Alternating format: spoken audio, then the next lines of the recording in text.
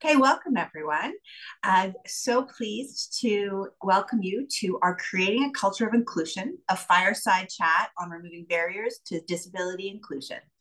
My name is Sandra Hawken. My pronouns are she, her, and I'm the president and CEO of the Holland Bloorview Kids Rehabilitation Hospital Foundation. For accessibility, today I will be sharing a visual description of myself before we get started. I'm a middle aged white woman with light brown hair that's long and tied in a ponytail. I have blue green eyes with quite dark circles under them today after staying up all night with a sick puppy. I'm wearing a black shirt under a mauve blazer, and my background is white with eight Holland Bloorview Kids Rehabilitation Hospital logos in blue and green. For those of you who are meeting Holland Bloorview for the first time today, we are Canada's largest pediatric rehabilitation hospital and one of the only institutions in the world focused on combining clinical care, research, teaching and learning with the purpose of creating a world of possibilities for kids with disabilities. We also have the highest concentration of pediatric disability research anywhere in the world. Our mission includes a passion to ensure that all kids and futures, let all kids and youth live a full and meaningful life. And to that end, anti stigma, disability inclusion, and advocacy for both is core to what we do. We've hosted many panels like this one, spoken broadly across industry and the media, Annually, we have PSA campaigns to talk about inclusion around disability, robust advocacy efforts, and more than 160 of Canada's largest brands have signed Holland Bloorview Foundation's Disability Inclusion Agreement. For National Accessibility Week, we decided to bring to you a fireside chat to share lived experience and together to create a more accessible Canada. Today, I have the pleasure of introducing the uh, two folks who are going to be steering that fireside chat. First is my colleague, Nathan, who is a Black advocate, public speaker, and ableism disruptor who was born with cerebral palsy. As Officer Partnerships at Holland Bloorview, Nathan fosters meaningful connections with community partners and supports all of our signature events. Based in Toronto, Stephen Irish is passionate about making a difference and driving change. With over seven years' experience in disability and employment, Stephen leads Innova's business services team to achieve and deliver inclusive solutions. We're so grateful for Innova's generous support today and for Nathan's role as moderator. I'll now turn things over to the conversation um, where Nathan will begin with a land acknowledgement and housekeeping. I hope you all enjoy today's conversation and are moved to do your own work to remove barriers to disability inclusion. Amazing. Thank you so much, Sandra, for the really warm introduction. My name is Nathan Gaba, and I'm thrilled to be moderating today's discussion alongside our wonderful guest, Stephen Irish from Innova. A quick personal description of myself. I am a young adult black male with, I'd say, short to medium length hair. I am wearing a black undershirt um, underneath a black blazer, and I also have a Holland Bloorview backdrop that has Holland Bloorview Kids Rehabilitation Hospital, along with our logo, repeated about eight times. Before we dive into our general discussion, I'd like to take a quick moment to go over some housekeeping. For accessibility purposes, captioning has been turned on, and the video recording with the caption video will be uploaded in months to come. I also want to share that if for whatever, uh, for any reason you might not be able to currently see the caption, you may have to click on the captioning prompt to do so. I also want to share that our chat is currently closed for the moment, but uh, approaching the end of our discussion, you'll be able to leave your thoughts as well. So um, this event will be recorded and only the panelists should be visible during the discussion. And we'll also have a Q&A feature. So if you have any questions at any point, please feel free to plug them in for our panelists. And any resources that we discuss during the, during the panel will be shared post-event. Before we begin, I'd like to reflect on and acknowledge the sacred lands in which we operate, work, live, and play. The, le the legacy of Holland Bloorview's current space, where people have gathered for over 15,000 years, should inform our actions, especially in how we think about inclusion in the workplace. Holland Bloorview sits on the territory of the Huron-Wendat First Nation, the Seneca, as part of the Haudenosaunee Confederacy, the Mississaugas of the Credit River, the Mississaugas of Scugog Island, First Nation, We recognize Indigenous land titles as set out in the Royal Proclamation of 1763, which envisioned self-determination and self-government. I want to honor these lands' visual, uh, sorry, I want to, uh, I want to honor this land's original people and invite everybody to think about the present day and the past of these communities and holistically question how some of our own personal colonial practices may be disrupting connections between families, communities, and homes. It is truly vital to make sure that we center our ideas around responsibility, reciprocity, and resilience in our work to make sure that we can be as accountable as possible to the treaties in which we are bound to. We are all truly capable of decolonizing the, our everyday ways of thinking and practices to combat oppression in any way that we can, especially in thinking about the experiences of people living with disability. So once again, I truly like to encourage everybody to just to truly reflect on the land in which you operate. And now before Stephen joins the discussion, I'd like to share just a little bit about myself. So I have had the absolute pleasure of working for Holland Bloorview in both part-time and full-time roles in the past uh, four years of my life. And I can truly say that for me, this just means having a chance to give back because I have been a part of the Holland Bloorview community since I was about nine months old. And today, um, my current endeavors looks like facilitating a lot of various conversations towards um, disability inclusion and anti-stigma. But every time I have a chance to go up there, share my story, and have these my real life examples and utilize them in order to be examples for education, I think back to all the times that I went to Holland Bloorview for physiotherapy or any other kind of appointment. I think about how our services that I received truly exceeded our family's expectations in every way. And that's what helps me find the motivation to continue going and try my very best to lend my voice into various discussions like we're doing today. Today, uh, we're going to be diving into our own lived experiences and thinking about ways that we can overcome barriers to inclusion. We'll also focus on cultivating uh, an inclusive language and share resources on how to empower everyone in championing disability inclusion within our communities.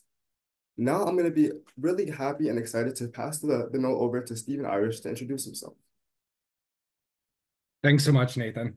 Um, hi, everyone. Um, thank you for joining us today. Um, I'm excited for this conversation and to kick off uh, National Accessibility Awareness Week. Um, I'm Stephen Irish. Uh, my pronouns are he, him. Um, I'm the manager of business services at Innova. Um, a visual description of myself. I'm a white male uh, with brown hair. Uh, it's a little bit long at the moment. I could likely do with a haircut. Uh, however, I have blue-green eyes um, and I'm wearing a dark blue uh, navy uh, collared shirt with white polka dots. Um, and my background is a bluish green uh, background with the Innova logo. Um, so before I kind of, uh, before we jump into the conversation today, a little bit about uh, who Innova is. Uh, Innova is an employment strategies consulting firm focused on creating dynamic inclusion through innovative solutions grounded in research and founded on global best practices. Uh, in my role at Innova as business services manager, uh, I have the pleasure of getting to collaborate uh, across departments each and every day uh, to strategize, implement, and optimize Innova's services and solutions. Awesome. Thank you, Stephen. So when I think about our topic about creating a culture of inclusion, I think back to a common topic that I, that I noticed that truly resonates with most of our audiences when we have our disability-centered um, discussions. And that's typically just the barriers to inclusion and the different ways that they directly impact the lives of people living with disabilities. We typically uh, categorize these barriers as physical, attitudinal, and systemic. Today, I'm hoping that we can have the chance to, to define these and unpack them together. So for starters, physical barriers commonly refers to an inaccessible design in an environment that can limit people's access to navigation. Honestly speaking, as somebody with a physical disability, being cerebral palsy, and who uses a mobility device to get around, I can truly say that I encounter these physical barriers to be quite honest, from the moment I wake up until I go to sleep.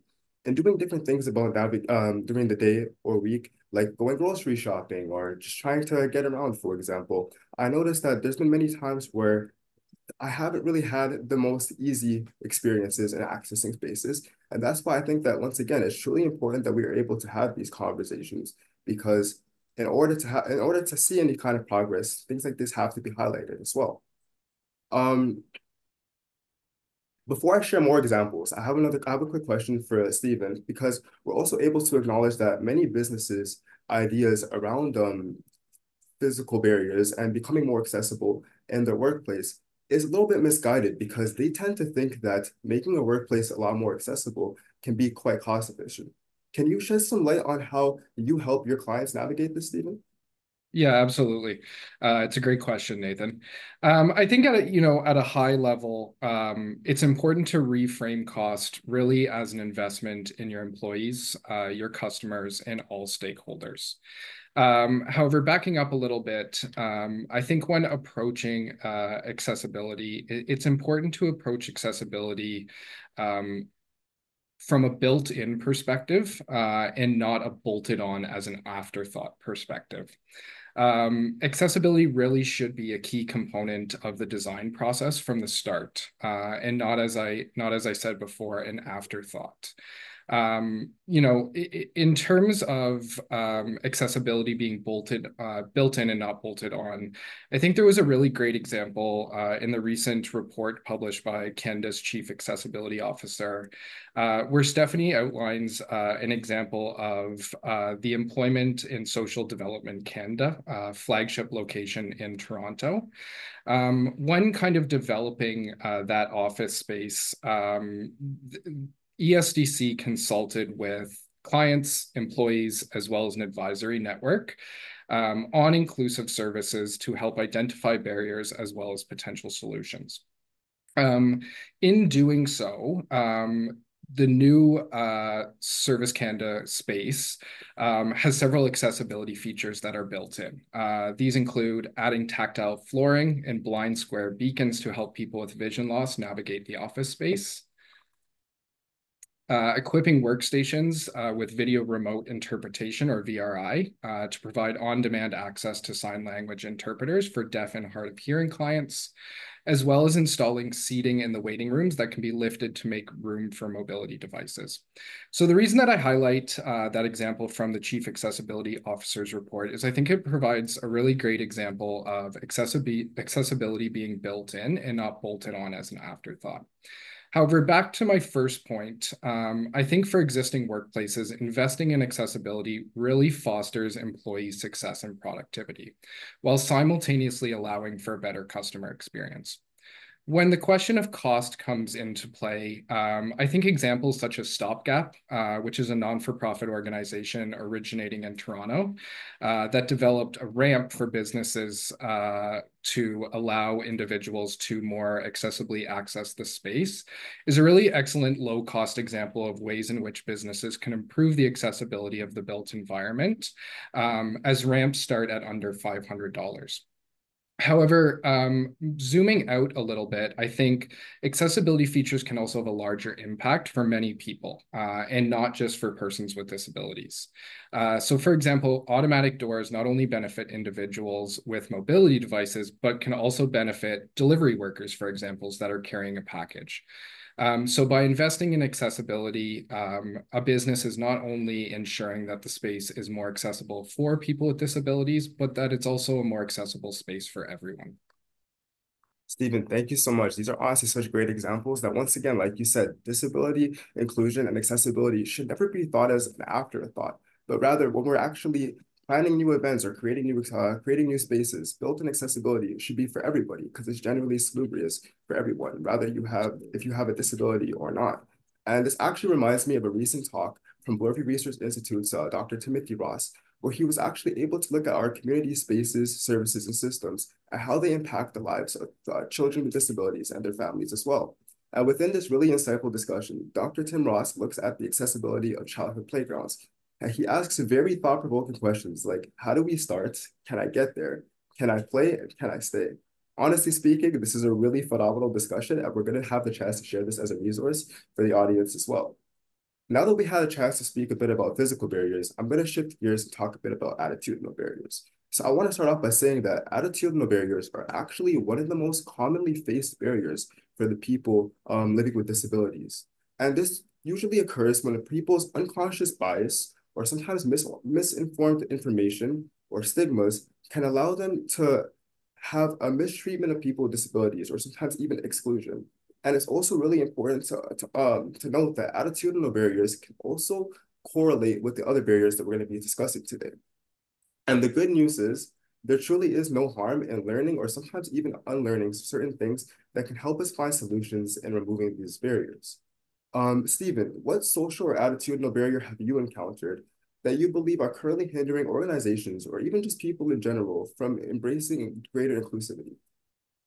It's a great question, Nathan. Uh, honestly, too many um too many uh it, you know if i were to if i were to narrow it down um into a, a few examples um, I think one of the the biggest attitudinal barriers that uh, I, I, experience is uh, a lack of recognition or awareness uh, around the diversity within disability.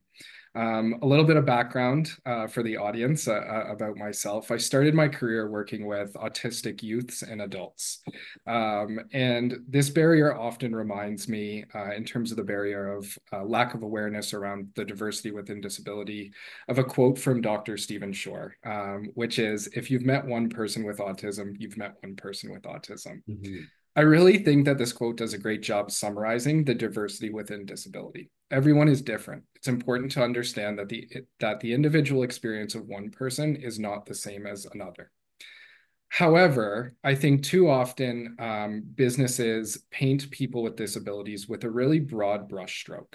Um, so, for example, all autistic individuals are good with numbers or good with computers. Um, I think in reality, that's just not the case. Uh, and so it's really important to recognize that everyone's individuals um, and to not use that kind of broad brushstroke approach um, when discussing disability. I think another factor at play here is intersectionality. Um, often disability is just one of many identi uh, one of many identities an individual can have. For example, a person with a disability can be a newcomer to Canada, a woman, indigenous. And it's important to recognize that all of these identities shape a person's experience and the barriers that they may experience in the workplace. I think for organizations to really foster a culture of diversity uh, and inclusion, it's important for them to recognize the diversity within disability, uh, but also the impact of intersectionality. Another example uh, that I feel is worth speaking to is here is ableist stereotypes. Um, so I think that ableist stereotypes uh, have a tremendous impact on the employment of people with disabilities, um, but also present attitudinal barriers for organizations looking to foster a culture of diversity, inclusion, and accessibility. For example, ableist stereotypes that people with disabilities are not capable or reliable, or that they pose too much of a risk leads to less people with disabilities in the workforce. Another kind of personal example here um, from my time in employment services, I remember when I was job developing, uh, and I've had employers say to me, but Stephen, we can't hire him. It's a kitchen and there's knives around. It's not safe. I think as Nathan noted, while this can be unintentional or a result of lack of understanding, these type of ableist stereotypes really pose a significant barrier both to people with disabilities in employment, but also in organize also in terms of organizations' ability to foster a diverse and inclusive workplace culture. The last point I want to touch on here as well is ensuring that people with disabilities are included in the conversation um, and of importance, paying them as well. Um, I think for organizations looking to improve disability inclusion, it's really critical to ensure that people with disabilities are part of the conversation, to consult with them, to ask them questions, to gain insights, to learn from their experiences, and as I said, to compensate them for their time and expertise. One, uh, in fact, one of the primary principles of the Government of Canada's accessibility strategy for public services of Canada is nothing, nothing without us, which I think really highlights uh, the importance of ensuring that people with disabilities are part of the conversation. However, just being part of the conversation, um, I do not think is enough. Uh, I think it's really important that organizations carefully consider how to provide choices when engaging people with disabilities, while also ensuring that there's a clear pathway for their contributions and lived experience expertise to be incorporated and actioned. So to combat some of these attitudinal barriers, I really do believe that training and education uh, is a critical component. I think organizations should invest in training and education for their employees as a foundational building block to recognize and remove attitudinal barriers. Um, in fact, it is also one of the recommendations uh, made in the Chief Accessibility Officer's report uh, is for organizations to invest in disability inclusion training. In addition to training, I think experiential learning opportunities, such as Innova's Disabilities Mentoring Day, uh, provide a great opportunity to connect with and learn from people with disabilities, helping eliminate attitudinal biases, but also unlocking transformative potential for, the, for your organization. As Nathan noted at the start of the conversation, um, we will be sharing some resources at the end of the conversation today, uh, one of which will be some information on Innova's Disabilities Mentoring Day. Uh, and those, and for those interested in learning more, I'd really encourage you to check it out. Uh, it's going to be a great event. Awesome. Thank you so much, Stephen. One really eye-opening reflection that I truly want to share just based off my own lived experience. And also, when I do make this comment, I want to share that I am I am only speaking towards my own personal experience. I don't mean to represent a community at all. But one thing that I've realized in terms of the kinds of barriers that I've encountered, I've encountered a fair share of attitudinal barriers. But I want to say that for me personally, I've noticed that it's generally been rooted in an ambivalent sense of ableism, meaning that people, when I have these interactions, didn't deliberately go out of their way to make me feel uh, excluded or they didn't deliberately try to say anything offensive but it was actually more so a result of um, i want to say a lack of understanding about disability that led to some issues that unfolded beforehand. For example i want to share like when i got to know many of my friends when i was in university they would often tell me oh nathan i'm so happy that we're pulled out but i wanted to i'm being entirely honest there were so many times where i saw you around at Tim Hortons or in class and I wanted to talk to you because you always seem to be laughing or smiling. But I was just really scared because I um I didn't know if you had a disability, like despite seeing your walker, and I didn't want to unintentionally say the wrong thing. So I kind of just avoided speaking to you and hung around you, hoping that you would say something yourself.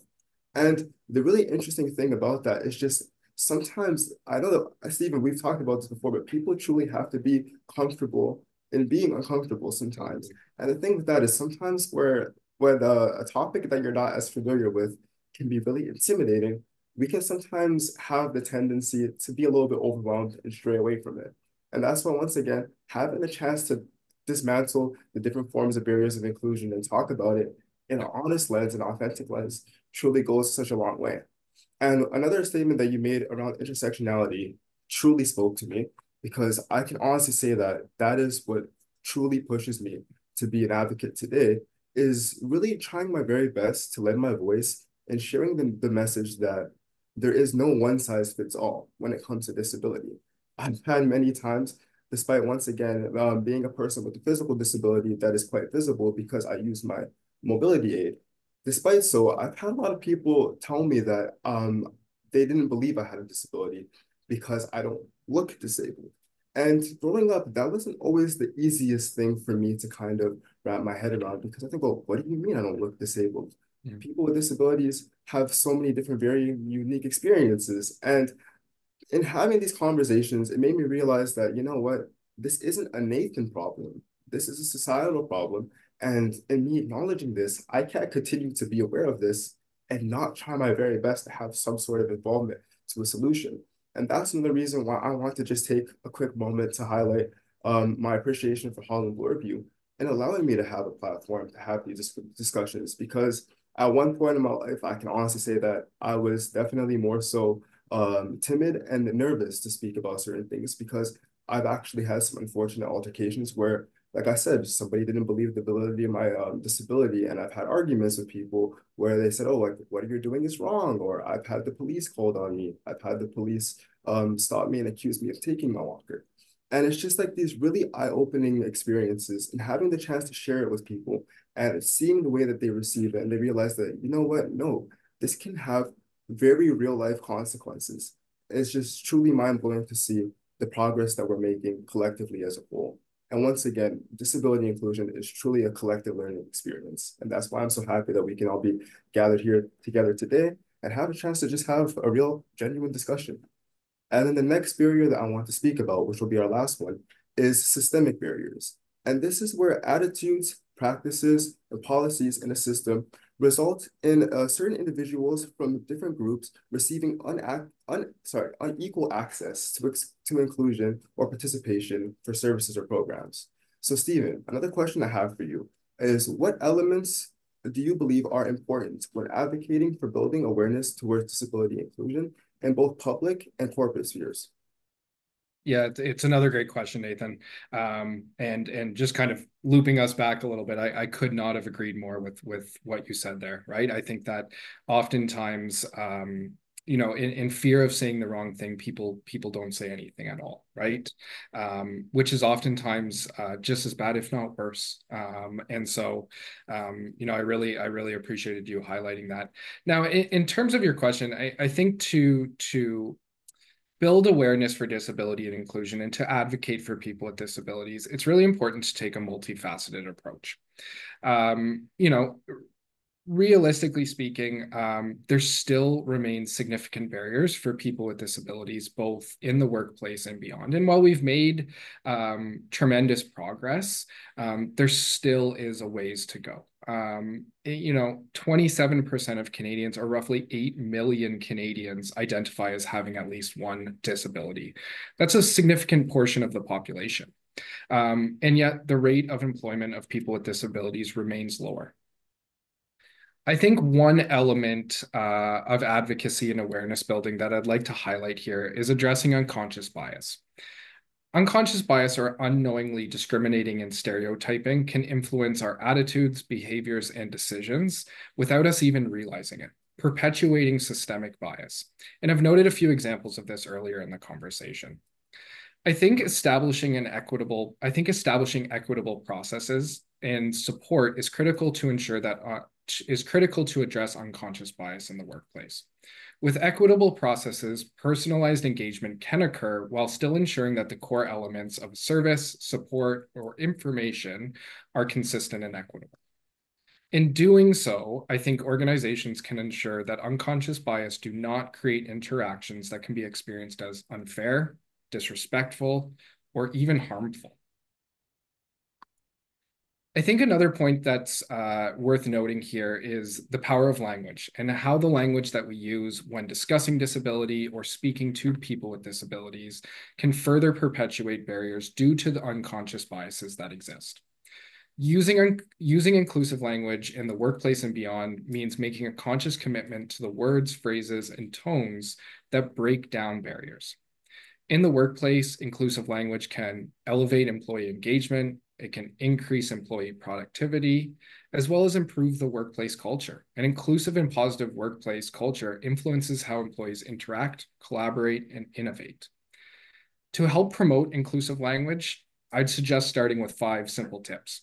The first is if you're unsure, don't assume, just ask which I think really speaks to the point that you just made before this question, Nathan, around individuals just not being sure and instead not saying anything at all, mm-hmm. I bet you wish that many of those people just came up and asked, started the conversation.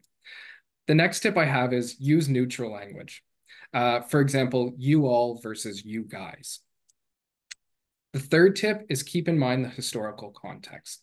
This can be a difficult one and it requires learning. And I think using inclusive language and promoting inclusive language, as Nathan mentioned before, really is an ongoing journey of continuous education and learning. Uh, it's not a simple one, two, three, done approach. The fourth tip is remember that language used by people within a community may be different and respect that. And the last tip, and this is one of the most important ones, if you make a mistake and are corrected, apologize, learn, and grow from the experience.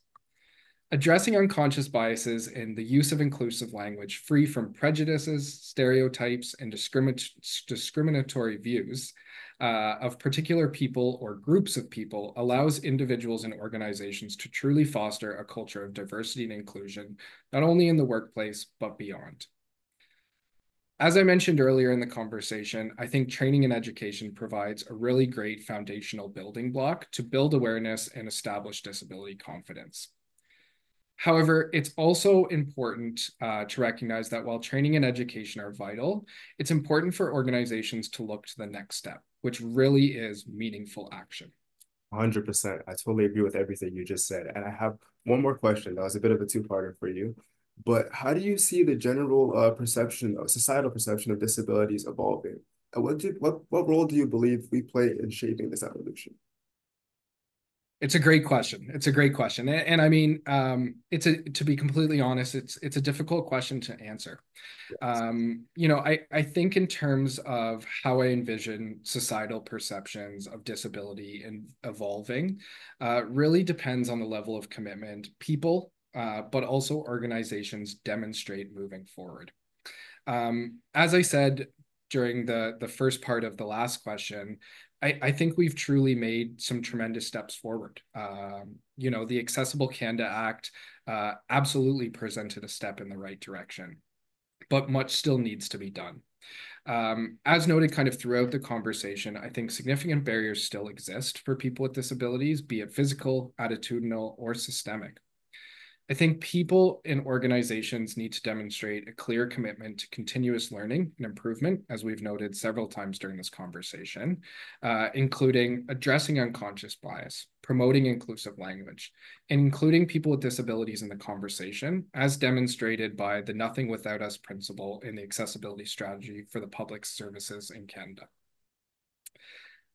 Accessibility and disability inclusion is not a one, two, three done approach it really does require continuous learning on everyone's part and investment in that continuous learning. Individuals and organizations both play a role here, uh, and in fact, a really critical role. Uh, but legislation is also important uh, in driving change and holding organizations accountable. I do believe that if all parties demonstrate commitment to continuous learning and improvement, we will see a Canada that is more accessible and inclusive in the future. I totally agree. And honestly, that is a bit of a hard uh, question to answer simply because I know that I get this question quite often towards the end of many of my discussions is, Nathan, like, how do you see are the general perceptions of society towards disability being changed? And I can say that there's still a lot of uh, there's still a lot of room for progress, but being a person who grew up in a time where disability wasn't necessarily spoken about at all, and now seeing how we're having conversations in the workplace and the corporate field as a whole, or just in general, has been something that's truly so heartwarming and means the world for me to have any kind of involvement in myself. Because as I often share, like I said earlier, I genuinely feel like most people truly want to be allies to people with disabilities. They just don't know the right way to go about it. And even sometimes in the ways that people try to start conversations with me, I can see past sometimes the harmful words and see see the interaction for what it is, which is someone's curiosity. And that's why it's really great that we have to be really um, embracing of people's curiosity as well and work as best as we can to once again have that collective learning experience. And since we both talked about how we're passionate about helping people become less uncomfortable with the topic of disability, we wanted to take a quick moment to just once again talk about disability and language. And I wanted to share two of the common approaches when people speak to um, about disability as a whole. So that being per, uh, people first language and identity first language. So I'm going to give an example of both. So with person first language, that would be me saying, hi, Stephen, it's a pleasure to meet you. My name is Nathan. I'm a person with a disability. And one way that um, people, one reason people might find this uh, to be a preferred uh, method is simply because there are many times where unintentionally or not, um, sometimes people might be only really acknowledged for that one aspect of their identity being disability, uh, being the fact that they have a disability. Mm -hmm. For example, I've had many times where I've gone out places with uh, family members or loved ones. Like let's say I went to a haircut appointment and somebody asks my brother instead of me what haircut I wanted. So I find that when I say I'm a person with a disability, it's just simply because I want to be acknowledged for the full aspect of who I am. On the other hand, I learned this when I began my uh, journey in advocate, uh, advocacy as well, is that saying I am a disabled person holds so much strength to it as well because people really do acknowledge that the word disability shouldn't be this thing that we try so hard to avoid. There's nothing taboo about disability. Disability is just another aspect of, of life. And the same way that we can be proud of any other aspect of our identity, that most definitely applies to disability as well.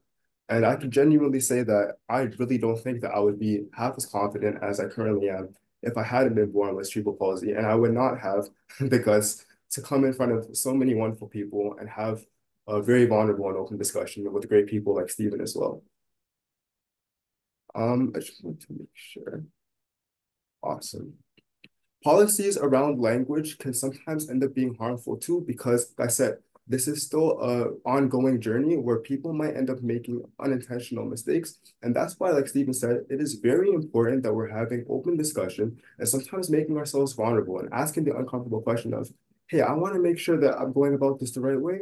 What way do you prefer I speak about your disability? And making sure that once again, like Stephen said, when we do have times where we might make mistakes and somebody shares that we had done so, to not be defensive, to not be too scared, not to not be too closed off, but to be open to the opportunity of having that collective learning experience, which once again is what I've learned through Holland Bloorview. Uh, the method of calling in rather than calling out and realizing that sometimes when we allow our emotions to kind of overcome us, uh, we can truly lose sight of what's going on right now. And what's going on is an educational experience where we can continue to just make sure that people are talking about disability in a truthful, genuine, and authentic manner.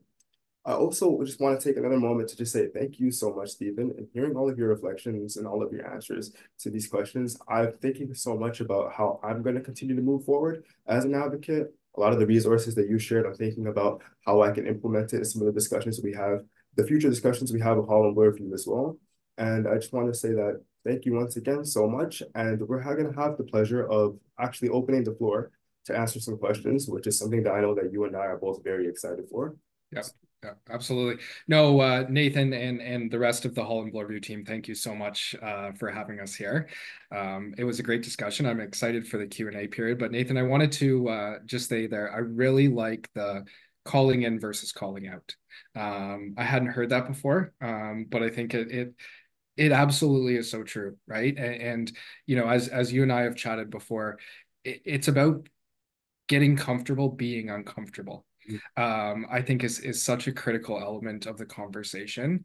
Um, it's a journey of continuous learning. Uh, we we can't act like we we know everything. Um, things are going to change, and it's it's really about, um, as you said, calling in versus calling out. I, I really appreciate. I really like that. Yeah. Oh, thank you so much. Honestly, that was one lesson that I felt kind of hard to learn growing up because, like I said, being in many situations where somebody had looked at me and said that they didn't see me as disabled that was sometimes uh, situations where I would feel a lot of different mixed emotions of like curiosity. Sometimes I would feel offended. I would feel hurt because there's so many different implications that that falls underneath that. And often when I would ask the question of, well, why do you feel that way? What about the way that I carry myself or the way that I talk or act makes you feel like that invalidates my disability? And often people would phrase it in a way that they thought would be a compliment to say, oh, well, you hold yourself really strong or you hold yourself very confidently. And that in those moments, I feel like that is where I have to try my best to remember all of the things that we learn and practice what I preach. And remember that sometimes it might not always be the easiest, but it's kind of about removing our emotions sometimes in the moment to make sure that we're once again opening our minds to a collective conversation where we can learn. And Absolutely. once again, yeah. I would not know this without Holland Bloorview, despite living with disability my entire life. It's an ongoing learning experience. Hi, everyone. Um, my name is Allison Hughes. I'm Manager Partnerships at Holland Bloorview, and my pronouns are she, her. Um, I'll give a visual description. I'm a white woman with short brown hair. I'm wearing black framed glasses and wearing sort of a reddish cardigan over a beige shirt and have a couple of necklaces on. Um, I'm going to help facilitate the Q&A. Nathan and Stephen, thank you for this conversation. Um, as I reflect as a disabled adult and also a parent, there's just so many takeaways I think that we can apply.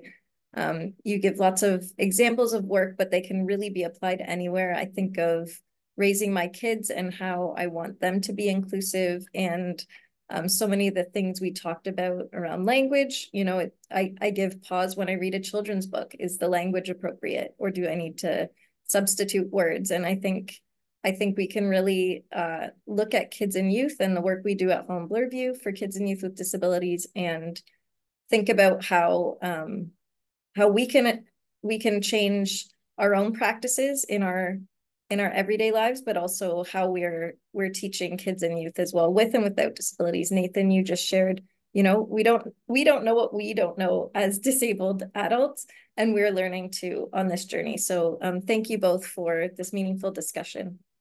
We've had a few questions come in and I encourage folks to continue to send in your questions um, if they come up. Um, there, this one's sort of a two-parter for um, employees and also um, employers around the way um, we can navigate neurodiversity in the workplace, um, highlighting folks' strengths, also communicating needs, and just how to navigate that uh, sort of aspect of it's not so obvious, it, it might not be visible and and how can employers both be more inclusive to folks with neurodiversity and how can someone with neurodiversity navigate that workplace? Stephen, I know we've talked a bit about it, so perhaps you can share some thoughts. Yeah, absolutely. I'm I'm more than happy to kick us off.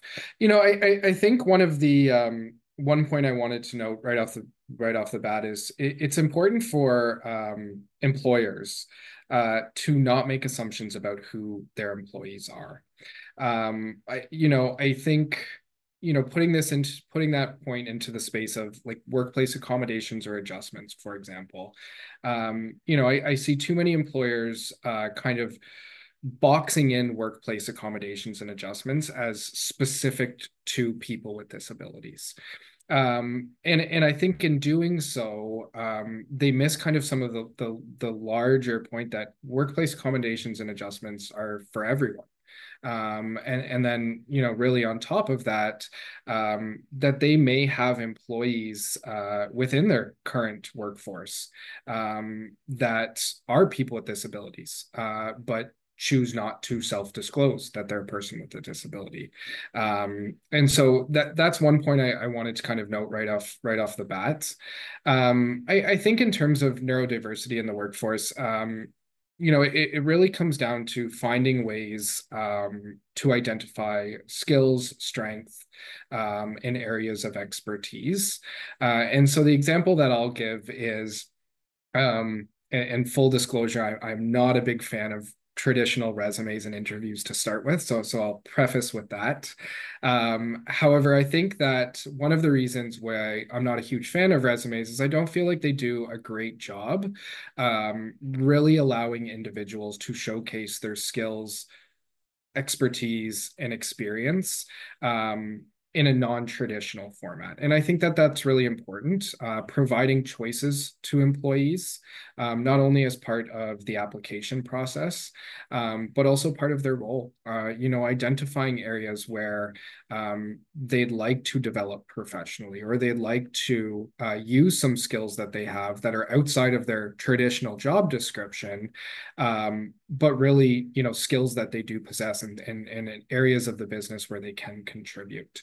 Um, and so I think that one way to do so is engaging with your employees. Um, I'm a big fan of uh, regular check-ins with your employees uh, from the time of onboarding uh, all the way through uh, the employee life cycle. I think is a really good way to identify areas where people may have skills that fall outside of that traditional job description or their description role, uh, but really are areas of the business that they can contribute uh, towards. And so that that's something that I would suggest businesses doing. Um, you know, kind of circling back to the the application process. You know at Innova um, we've taken some pretty non-traditional approaches um, to recruitment uh, and to hiring. Um, we've given choices to applicants in terms of how they would like to complete that interview process whether it be you know your standard traditional q&a style interview or whether it be showcasing a skill um, through something that they've developed uh, or other means. I think providing those choices uh, really allows you to meet people kind of in the middle uh, and to learn more about them and to see how you can kind of leverage those skills and strengths in the workplace. Thank you for that. That's super helpful. Um, I just want to make a note that in the chat, we're going to start sharing some of the links that uh, came up during the talk. So Dr. Ross's uh, talk is link is there. Our employer resource uh, hub is there. So that's something that we've created at Holland Bloorview just to give lots of resources for uh, employers to think about disability and, and, and learn a bit more. Our advocacy hub is also a great resource. And our next question sort of relates to the advocacy hub. Um, there's some teachers on the call today and they want to bring awareness to their students um, about disability. They want to create awareness and understanding and empathy for everyone in the classroom. So they're asking for suggestions. Nathan, we spoke a bit about this. We've got the Advocacy Hub, which does have a section just for schools, which um, is a great tool. But do you want to speak a bit more about your experience with school outreach and what we do at Holland Bloorview? Uh, just in speaking with my experience with school outreach and having the chance to have any kind of um, impact on uh, children's educational journey when it comes to disability, it's just more so having the um, the honesty to embrace the fact that we all have um, unique ways of going about the way that we do things. Like for example, at Holland Bloorview, we have our staff profiles where each staff member uh, on the foundation shares a little blurb about the best ways that we work, some of the things that we may for example, may need an extra time with, may need some support on. And it's just a really great and honest way that doesn't make anybody feel singled out. No one feels excluded because it acknowledges that we all have unique needs. And the times that I've had the chance to directly speak with um, children, it also reminds me that children are so passionate and so just genuinely lovely. Like they want to be the best versions of themselves. Sometimes it's just our responsibilities as adults to help guide them and help give them that kind of comfort in saying that, you know what, no, it's okay. If you do something a little bit differently than your friend or your sibling, that's all right. We're going to find a way to make things work for you and we can all work equally as well. I hope that answered the question. Yeah, that's great. And I think, you know, what we've shared in the past through our um, advocacy work is the importance of representation and making sure that books we read children and movies we watch and TV shows we watch and music we listen to is reflective of um, the diverse community with which we live, both disability and and other um, aspects as well. Um, Nathan, we've got a question for you, so I'm going to put you on the spot a little bit. Um, it talks about people not believing you as a Black man um, with a disability, um, that it might also be about anti-Black racism. Um, so who gets to look and be believed as a as a disabled person based on racial bias. So they're wanting to know how we can make space for that intersectionality um, within the disability community when we think mm-hmm. about inclusion efforts. So um, happy for you to share a few insights yeah. on that. Yeah, for sure. I have uh I would just say like for example, like even like in our advertising and sharing authentic experiences of people with disabilities, even just showing more black people that have disabilities because it is a reality. And I feel like in a lot of the interactions that I've had, like even sometimes these were my peers who felt comfortable in making certain comments with me, where they would say things as, oh, well, Nathan, I don't see you as having a disability because you are Black. And I always have to constantly kind of remind them that, that one, one aspect of my identity does not completely eclipse another. And it's more so just showing people that, yes, it's just, just like everybody else, it's a part of life. This is an, this is an aspect of our identities and just also doing our very best to amplify the voices of um, people with experiences who might be people of color as well. Because I can genuinely say that for so long, I want to say like at least eight years, when I had all of these experiences, I never wanted to speak about it because I genuinely felt that one, people wouldn't necessarily relate to me, or two, I didn't want to stand out because everybody in my life had told me this was a Nathan problem. Oh, well, we can't go to the movies with Nathan without a security guard questioning if his walker is his. Or I couldn't walk home from work with uh, my friend because I would have occasionally, I would have a police officer slow down and ask me questions. And I remember thinking, oh, at the time, because I was younger and my world kind of revolved more around myself, I thought that, oh, wow, these are things that I have to go through. But once again, when we amplify the voices of people that have their own various unique uh, experiences, it might click and show people that, once again, disability can also take place at, at any part in a person's life. So disability is something that everybody should care about, to be entirely honest. So it's just having these real conversations, creating a platform for people to share their experiences, and making sure that we actually have meaningful action once we hear these stories as well. And I also want to say thank you so much for your question. It really made me think. I appreciate that. Um, we're just getting comments to thank you, Nathan, for that really thoughtful reflection and for being vulnerable and sharing your lived experience. I think you're right. As um, a white, straight, cis woman growing up disabled, I didn't know my own privilege till I sort of did some learning and unlearning. And I think uh, that as I reflect, it, it is really important to have diversity in in these stories we hear and in our learnings and, and unlearnings so that we don't you know, make assumptions about, well, if this person is able to do this or got this far or did this thing, that everyone in that group should. And that's just like Stephen said earlier, you meet one person with a disability, it's one person. So I'm grateful to you both for thoughtful answers to all these questions and for this conversation today. Um, we'll give people a little bit of time back in their day in their lunch hour, but I want to thank you, Nathan, for moderating this discussion today and Stephen for participating. Thank you to you and the team at Innova. We're grateful that you took the time to share your lived experience and your expertise and providing examples and resources that folks can tackle um, disability inclusion and continue to remove barriers. We know that today's discussion is scratching the surface on a very big topic, and we hope everybody takes time to reflect, review the resources that we share, and continue their important work um, to keep conversation going and keep talking about disability. I'd be remiss if our team didn't acknowledge that donor support helps our partners, uh, from our partners and individuals, helps drive the work that we do at Holland Bloorview to address stigma and continue disability inclusion advocacy work. As the team continually works towards a more inclusive world for kids and youth with disabilities, we're grateful to our donors who help us make this work possible. Thank you to everybody for joining us today. We had a great turnout. Please watch your inbox for a post email with resources, and in future, we will share the recording. Thank you again, Stephen and Nathan, to our tech support team, and to everyone who's tuned in today for working together during National AccessAbility Week to create a more accessible Canada. Enjoy the rest of your day.